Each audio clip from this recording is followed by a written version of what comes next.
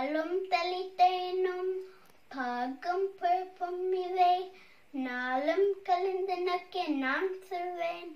கோலும் செய்தங்கி கைமகத்து தும்னியே நீ எனக்கு சங்கீத்தமும் மூன்றும் தா.